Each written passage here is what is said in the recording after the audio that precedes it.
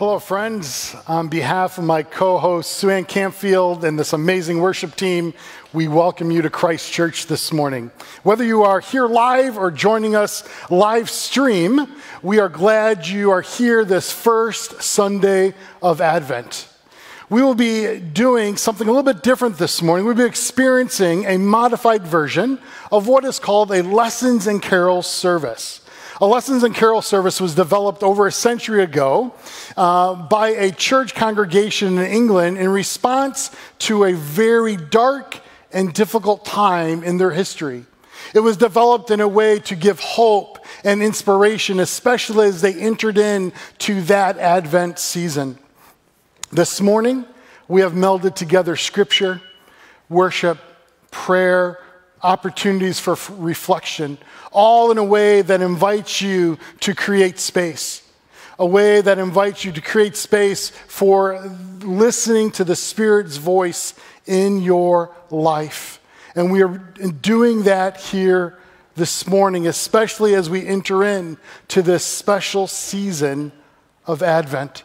As we shared on Friday in the video invite to this service, if you are at home, we hope that you will have an Advent wreath around you or a candle. If not, feel free to take a few moments and rummage in that junk drawer I know you have in your kitchen and even find that birthday candle to have available to you for when Suanne goes up during our first reading, right after our first song, you too at home can light your Advent candle as a family, marking this sacred time and this sacred space together.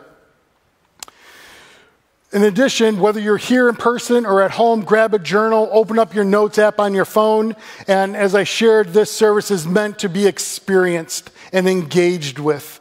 Have that note app available to you to write down thoughts, write down impressions, reflection questions will be on the screen a couple times throughout our service. Jot down, jot down your answers for later reflection of what the Spirit of God is speaking to you. If you're online with us, you have an advantage of just typing right in the chat your thoughts and comments throughout the service. And we highly encourage you to do just that. Overall, we invite you to sit back, to pay attention to listen to that still small voice, not only this first Sunday of Advent, but through this whole beautiful season as we eagerly await the arrival of Jesus, the unstoppable light. Let's begin with prayer. Lord Jesus, we thank you for who you are and who you are in our lives. And Lord, we thank you for the light that you give us, no matter what is swirling around us. And Lord, this morning, we offer this time, this experience over to you. Speak to us through your word, through worship, through silence, through our prayers back to you. Lord, as we engage with you, may we sense your engagement with us. We thank you and we love you, Lord Jesus. Amen. Hey, good morning, church. Why don't we stand together?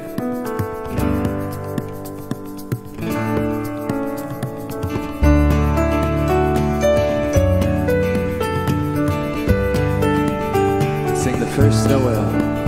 The first Noel.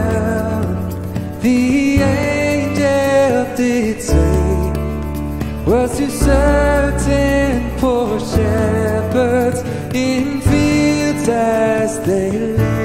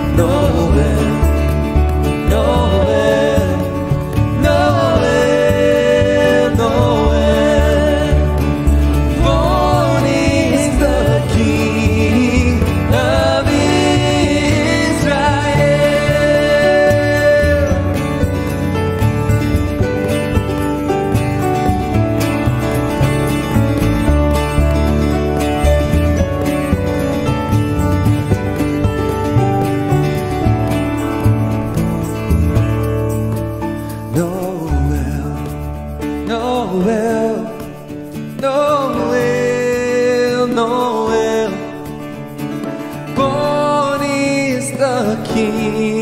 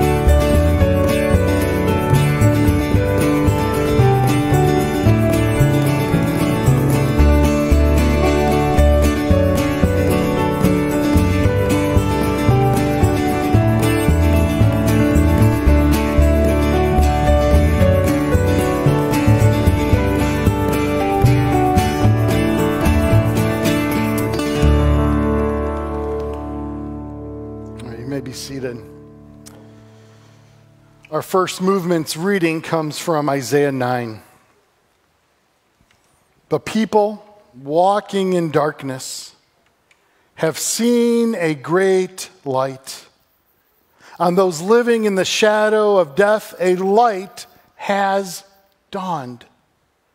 For unto us a child is born, unto us a son is given and the government will be on his shoulders. And he will be called Wonderful Counselor, Mighty God, Everlasting Father, Prince of Peace. Of the increase of his government and peace, there will be no end.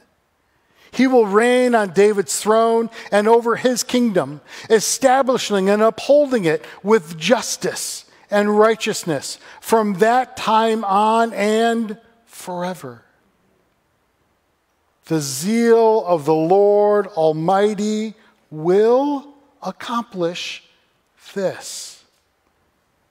This is the word of the Lord. I grew up on a 275 acre farm in western Pennsylvania. The house I grew up in sat on a dirt road in the middle of nowhere. It was a mile on either end before you got to anything that looked like a paved road. The nights were quiet. I would lay in my bed with the window open just a crack, and oftentimes the only sound I would hear were the crickets chirping in the dark, or maybe a hoot of an owl or a coyote howling off in the distance. The nights were so quiet, and they were dark. There was no porch light from a neighbor, no street lights that lined the road, no hazy fog from a shopping, shopping mall or a restaurant hanging in the air. There was just darkness, a deep, thick, rich, velvety, quiet darkness.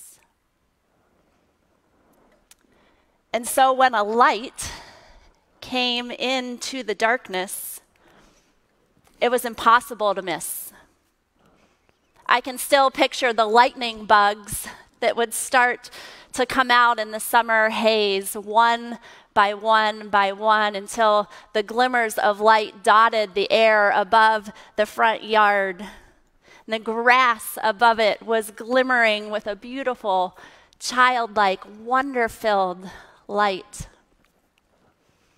I remember how on the 4th of July, my siblings and I would wait as long as we could. We would wait until it got as dark as dark could be. And then we'd play this game where we'd light our sparkler. And one by one, we'd run to the top of the yard where the cherry tree sat. And we'd run as fast as we could until you could no longer see anybody's body or hands or arms or legs. You could only see the flicker of the light at the top of the yard. As a high school student and then a college student, life started to get a little more complicated. And so sometimes when I couldn't sleep at night, I would get out of bed and I would go into the backyard into the dark. And we had this picnic table in the backyard, and I would simply lie flat on my back under the canopy of the stars. And I'd feel so small under the weight of their beauty and their brightness. And I'd take all of my questions and I'd take all of my doubts about life and about faith and about my purpose in the world, and I'd surrender them back to the beauty and the brilliance of the light as it was intended to be. And the most amazing thing happened because no matter what I threw at that sky, nothing seemed to stop the light from shining brighter than it ever had shined before.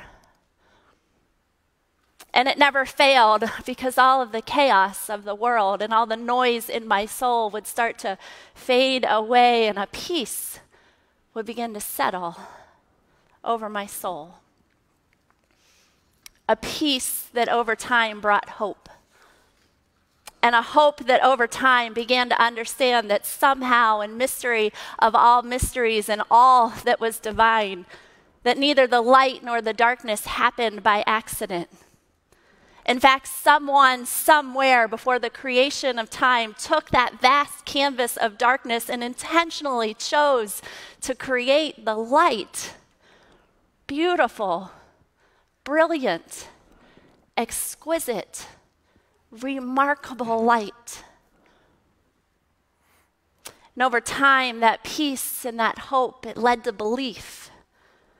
Belief that not just a creator hung the light that shone in the sky, but that same creator created the light that would become the light, that would become the savior of all mankind a light filled with the seed of the promises found in the words of the prophet Isaiah as he called out into the darkness to a different group of people and in a different space and time. And he said to the people of God who were living in the land of the shadow of death, he proclaimed hope beyond hope that a great light had dawned. And so the people waited and they waited. And they waited through feasts and famines and wars and exiles and death and isolation and disease. And they waited for centuries with hope for an unstoppable light. But what they didn't know was that the unstoppable light, they didn't know what it meant because what it meant was a light that would not come by force, but would be clothed in humility. It would come not to govern others, but so that others' lives would be governed by it. It was a light that would come to seek and to save the lost. It was a light that would come so that the last would be first and the first would be last. A light that would come to turn the world upside down and make all things right. It was a light that would come not to keep the peace, but to be the peace. It was the light that would come because the everlasting Father, the King of kings, the Prince of peace, in his goodness and in his grace, with all his strength and with all his power and with all his glory and with all his righteousness and the company of the heavenly host, he gathered all of the light of heaven that he could. He gathered it in his arms. And then he released it. He released it to be wrapped in strips of swaddling cloths. And on a dark and quiet night, he placed it in a manger. Friends, for unto us a child is born. For unto us a son is given, unto us a light of hope has dawned.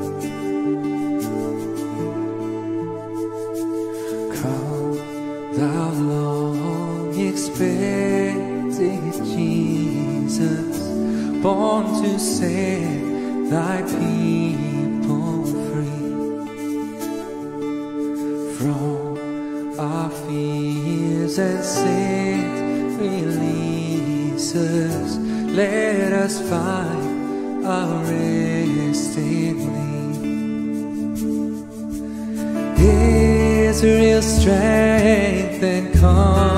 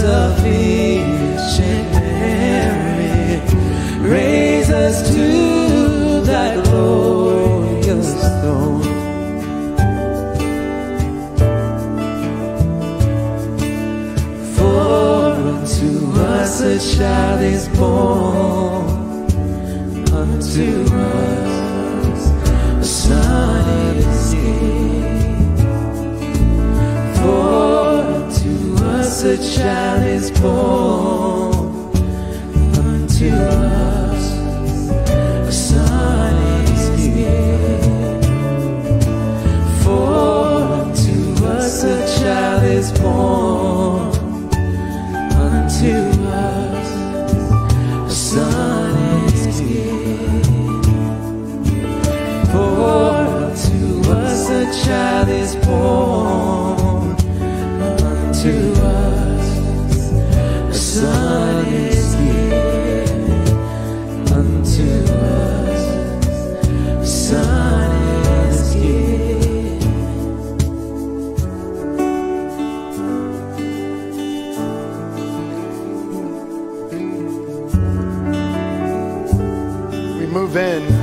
second movement with the spiritual practice of Lectio Divina.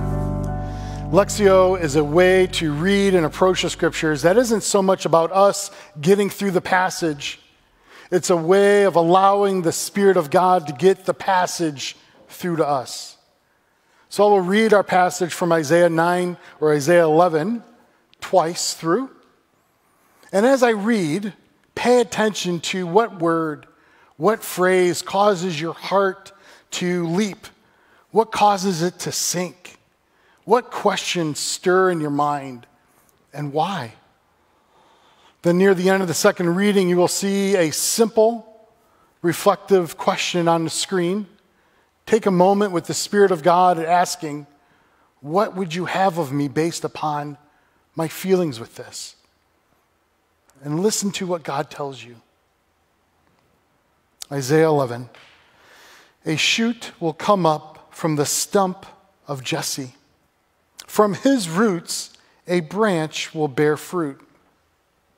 The Spirit of the Lord will rest on him the Spirit of wisdom and of understanding, the Spirit of counsel and of power, the Spirit of knowledge and of the fear of the Lord. and he will delight in the fear of the Lord. The wolf will live with the lamb, the leopard will lie down with the goat, the calf and the lion and the yearling together, and the little child will lead them. The cow will feed with the bear, their young will lie down together, and the lion will eat straw like the ox. The infant will play near the hole, the cobra, and the young child will put his hand into the viper's nest. They will neither harm nor destroy on all my holy mountain, for the earth will be full of the knowledge of the Lord as the waters cover the sea. A shoot will come up from the stump of Jesse. From his roots, a branch will bear fruit.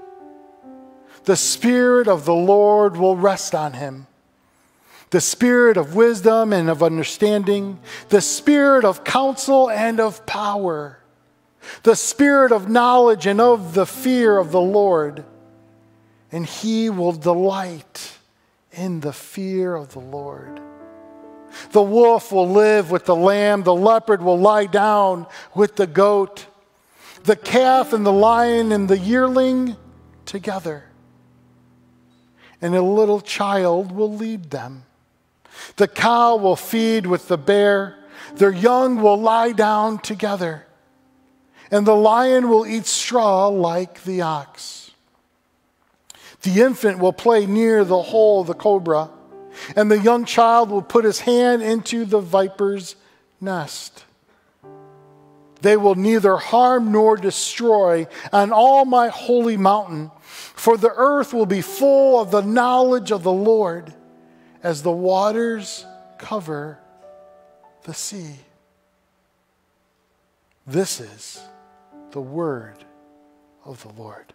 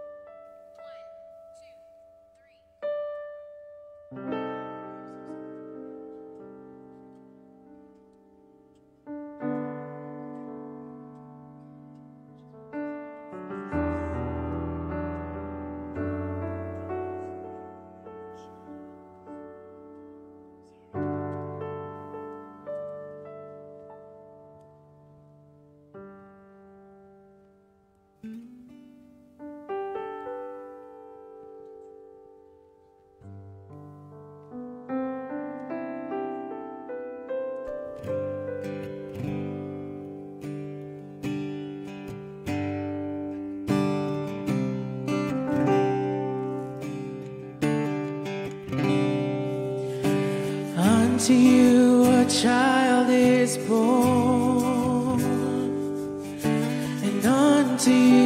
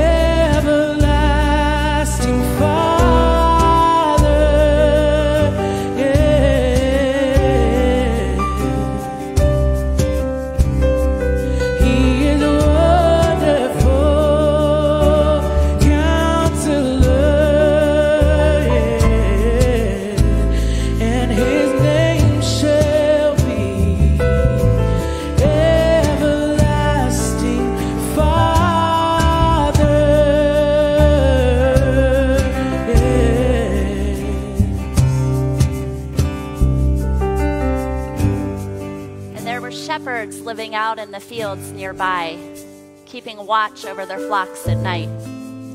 An angel of the Lord appeared to them, and the glory of the Lord shone around them. They were terrified.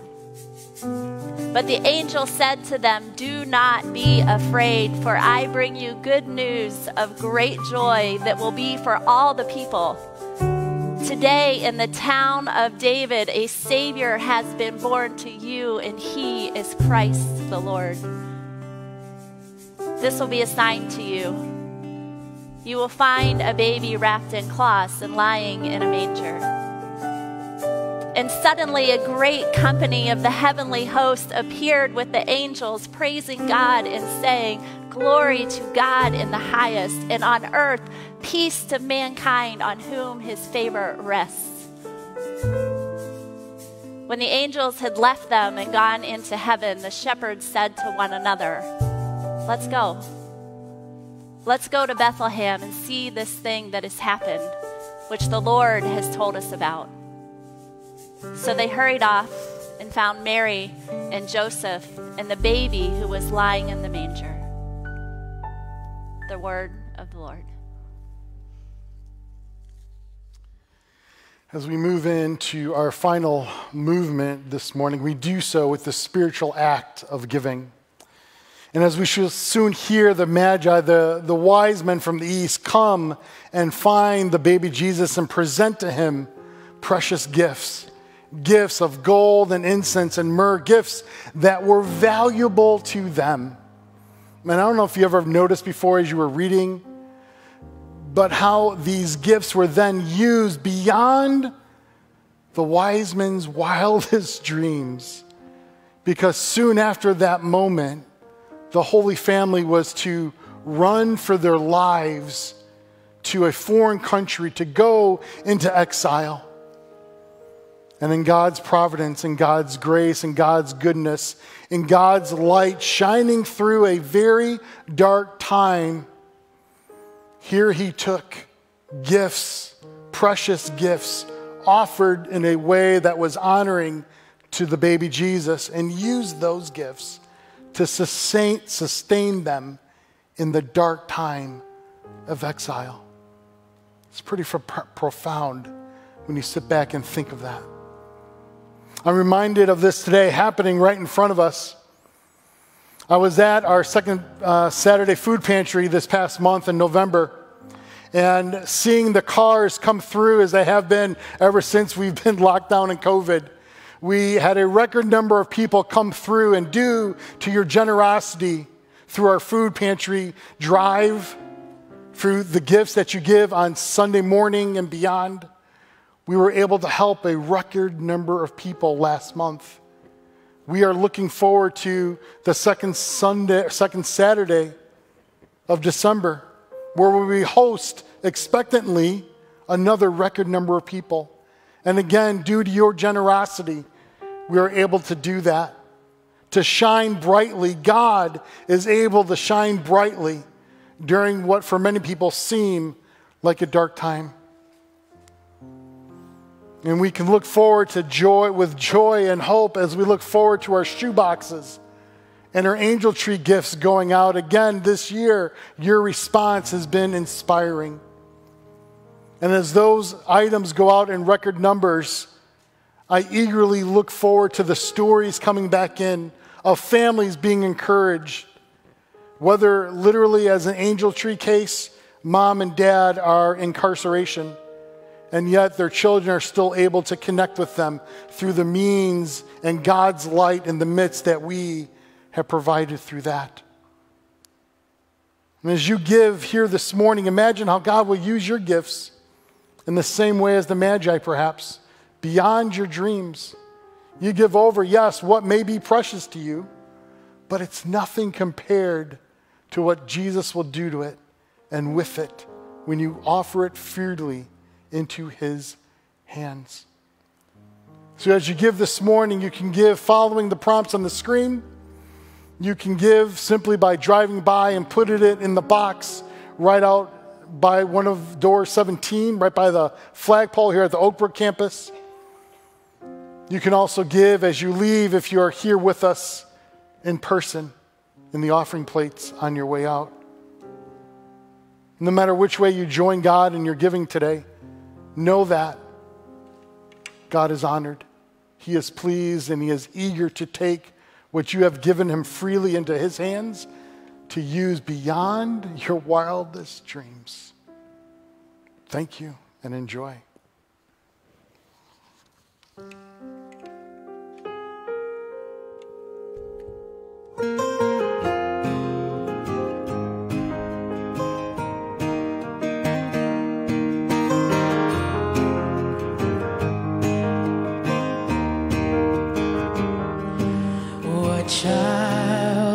This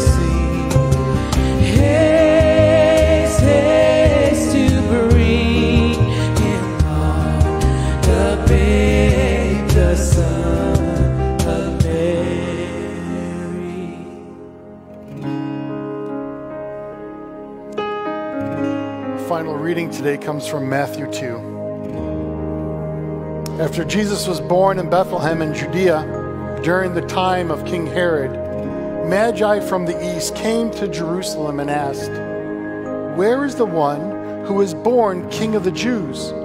We saw his star in the east and have come to worship him. When King Herod heard this, he was disturbed, and all Jerusalem with him. Then Herod called the Magi secretly and found out from them the exact time the star had appeared. He sent them to Bethlehem and said, Go and make a careful search for the child. As soon as you find him, report to me, so that I too may go and worship him. After they had heard the king, they went on their way, and the star they had seen in the east went ahead of them until it stopped over the place where the child was. When they saw the star, they were overjoyed. On coming to the house, they saw the child with his mother, Mary, and they bowed down and worshiped him. Then they opened their treasures and presented him with gifts of gold and of incense and of myrrh. And having been warned in a dream not to go back to Herod, they returned to the country by another route. This is the word of the Lord.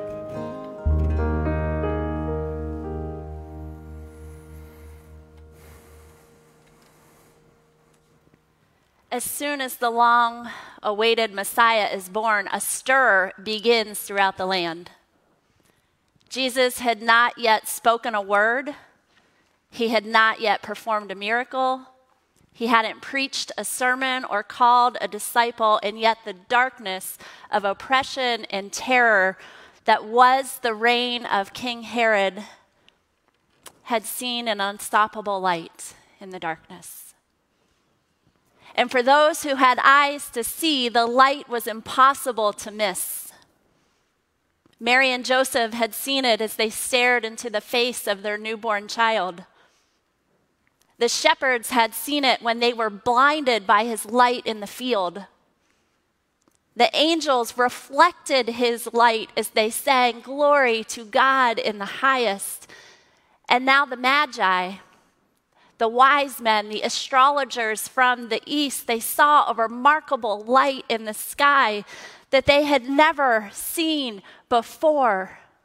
And with the echo of the words of their ancestors ringing through their ears, and with the story of the people of God rising up in their souls, together they dared to believe that this light was the light, not hung in the sky by some random creator, but a light that was intentionally created to bring hope to generations of God's people. This was the light for which they had been waiting, and they were unstoppable in their pursuit of it. Yet, when they finally arrived to Jerusalem, what happened was astounding because they found that not everybody was waiting for the light. There were some. There were Mary and Joseph, there were Elizabeth and Zachariah. There were the shepherds. There were Simeon and Anna. But most of Israel, most of the people of God who carried the story of hope within their souls, they had gotten busy. They got distracted. They were discouraged. They just got tired of waiting. And so they simply went on about the business of their everyday lives because they forgot what it was like to wait with hope. They forgot what it was like to wait with the excitement and anticipation that comes like a child that waits for Christmas morning. And because they forgot, because they stopped looking, they missed the light. Waiting says Henry Nouwen, is not a very popular attitude. In fact, most people consider waiting a waste of time. Perhaps this is because the culture in which we live is basically saying, get going, do something, show you can make a difference. And so, for many people, waiting is an awful desert between where they are and where they want to go. And people do not like such a place. But, friends, waiting also comes with a sense of promise. Because people who wait have received a promise that allows them to wait. They have received something that is already at work within him, them, like a seed that has started to grow. They can only really wait if what they are waiting for has already begun. What we are waiting for is growing from the ground on which we are standing. And that, my friends, is the secret. That is the secret of waiting. It is the faith that a seed has been planted and that something has already begun. For faith is having confidence in what we hope for and assurance of what we do not see. And so when the Magi saw the star, they were overjoyed. And when they got to the home of Mary and Joseph and they finally saw the light of God, the unstoppable light sitting before them in the form of a child, they knew. They knew that the promise which they had been waiting for The hope that they had, it was fulfilled. And so they bowed down and they worshiped him and they presented him with lavish and expensive gifts. And in that moment, in that moment, the unstoppable light that is the Christ child began to lead them. Because the promised king had already begun to reign. And when that child, that Messiah, that king, Jesus, when he began his ministry some 30 years later, he would step out of his own darkness and he would begin to preach. And his first words, his first sermon recorded in the Gospel of Matthew, some 700 years after the words were first recorded, Jesus quotes the prophet Isaiah. And he tells the people living in darkness, they have seen a great light. On those living in the shadow of death, a great light has dawned. An unstoppable light that no darkness would ever be able to overcome. Friends, Come, let us worship Christ, the newborn King. If you're here in the room with us, I invite you to stand. Let's sing this together. Angels from the realms of glory. Angels from the realms of glory, wing your flight o'er all the earth. Ye who sang creation's story, now proclaim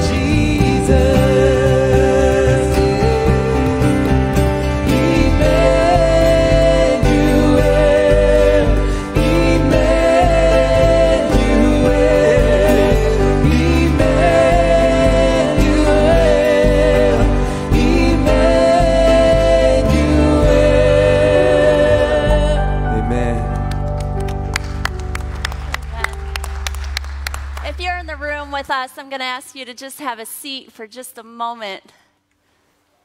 Friends, it's been a good morning to be together. Thank you so much for joining us this morning. I hope you've enjoyed it. I know I've had fun. This is the closest I'll ever get to being in a band. So thank you guys. You were amazing this morning.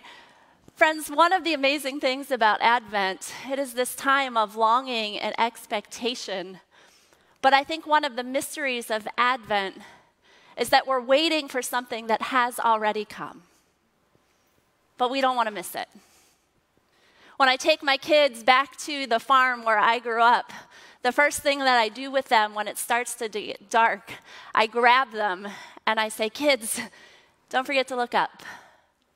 Don't forget to look for the light. And during the Advent season, that's what we get to do for one another. We get to remind each other to look for the light that has already come. And so we're going to invite you to come back. That's what we're going to do each and every week of Advent. We start a new sermon series today that calls The Light Will Lead Us. And so we're going to invite you to come back and join us each and every week, no matter where you're at on your faith journey. We would love for you to be part of this. The other great thing about Advent, as we know, is the long loved traditions. Hence, uh, carols and lesson service Hence, next Sunday, uh, we will have our Carol Fest.